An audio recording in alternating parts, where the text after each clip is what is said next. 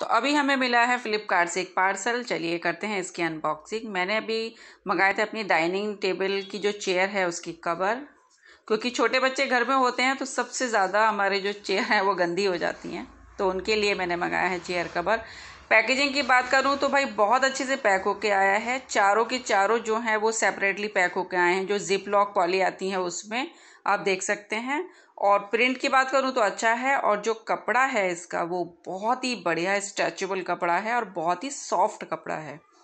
तो ये देखिए, ये इसका प्रिंट है और कपड़े की बात करूँ तो बहुत ही सॉफ्ट है और स्ट्रेचेबल कपड़ा है। बहुत, मुझे लगता है बहुत आराम से चेयर में फिट हो जाएगा। ये नीचे की तरफ़ आएगा जो सेट एरिया है उसका और ये पीछे की तारीफ़ जो ऊपर हम डालते हैं उसका है।